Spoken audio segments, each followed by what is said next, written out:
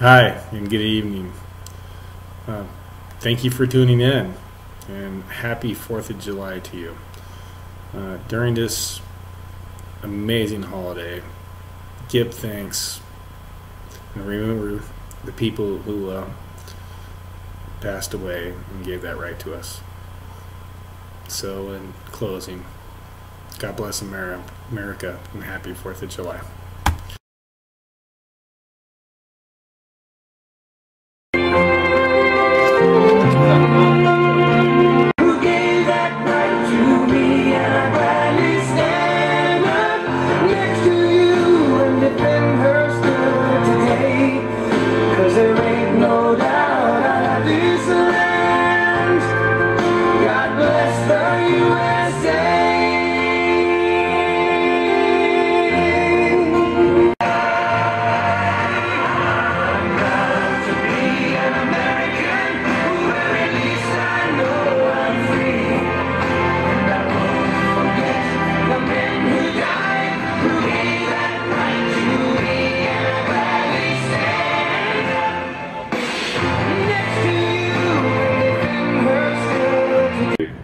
United States of America.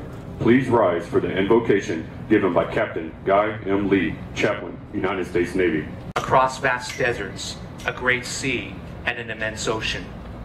But on this Independence Day in Afghanistan, our great country and all that it stands for is at the very forefront of our thoughts and prayers. In this coming year, give us the grace to be and to do the things that you have intended for us. Thank you for your presence here, Lord. We ask your blessings on us, our families, and our homeland. Amen. And during the summer of 1813, Major George Armistead served as that stronghold's commander. Major Armistead was ready to defend the fort, but he wanted a flag that would identify his position, making it visible to the enemy from a distance. 400 yards of best quality wool bunting. They cut 15 stars that measure 2 feet from point to point, and 8 red and 7 white stripes, each 2 feet wide.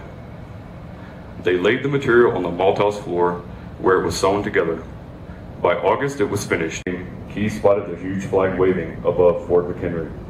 Thrilled by the sight of the flag and the knowledge that the fort had not fallen, Key took a letter from his pocket and began to write some verses on the back of it. Later, after his release and the withdrawal of the British fleet, Key checked into a Baltimore hotel and completed his poem about the defense of Fort McHenry. The Star Spangled Banner was first recognized for official use by the Navy in 1889 and by the President in 1916. It was adopted as the national anthem of the United States of America by congressional resolution on March 3, 1931. The Star Spangled Banner, our national anthem, has four verses. The first three verses recount what Francis Scott Key observed in the naval bombardment of Fort McHenry during the War of 1812. Oh, thus be it ever when freemen shall stand between their loved home and the war's desolation. Blessed with victory and peace, may the heaven rescued land praise the power that hath made and preserved us a nation. Then conquer we must, with our cause it is just, and thus be our motto, in God is our trust. And the star spangled banner in triumph shall wave o'er the land of the free and the home of the brave.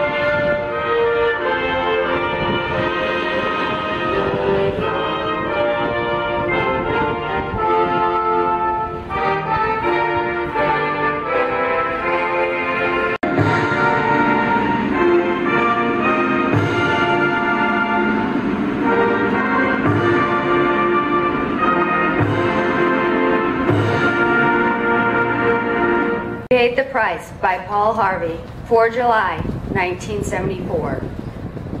Americans, you know the 56 men who signed our Declaration of Independence that first 4 of July. You know they were risking everything, don't you? Because if they won their war with the British, there'd be years of hardship in a struggling nation. If they lost, they'd face a hangman's noose. And yet, there where it says, Herewith pledge our lives, our fortunes, in your sacred. Thomas McKean of Delaware was so harassed by the enemy that he was forced to move his family five times in five months. He served in Congress without pay, his family in poverty and in hiding, who lived up to the pledge. Of the 56 signers of the Declaration, few were long to survive. Two of them lost their sons in the Army. One had two sons captured. Nine of the 56 died in the war from its hardships or from its more merciful bullets. the Declaration of Independence, setting 13 colonies on a journey to freedom as a sovereign nation. And this document was founded on a set of ideals and principles based simply on liberty and justice, and that government was not the domain of a single individual, but rather a body of written. Uh, stand on a different battlefield, shoulder to shoulder with our Afghan partners as a coalition committed to seeing that the people of Afghanistan have the same opportunity to have a voice in their government and the same opportunity to determine their own future. That same spirit that drove our founding fathers is alive and well today, and it's embodied right here in the courage and the commitment of every soldier of every nation that comprises RC Southwest. Reality. And while this is a celebration of the American Independence Day, it's also a reminder that freedom is the right of all men and women of every nation. And our job here is not yet done. The burden of protecting freedom now rests upon our shoulders. It is only through the sacrifices that each of you make every day that will ensure the future of liberty and justice for all. And I will tell you from the bottom of my heart, I'm proud to serve beside each and every one of you. Thank you.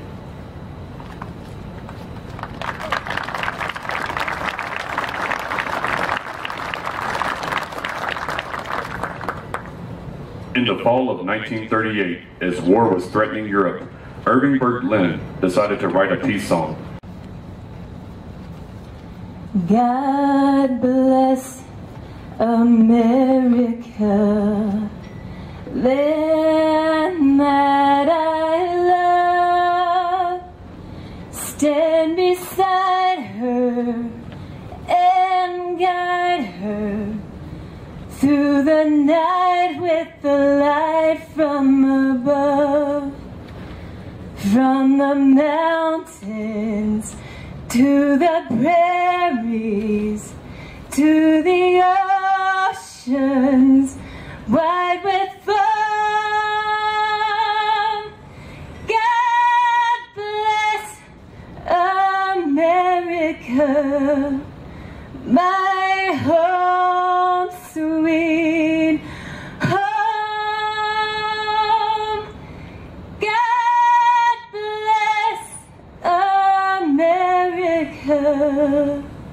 my home.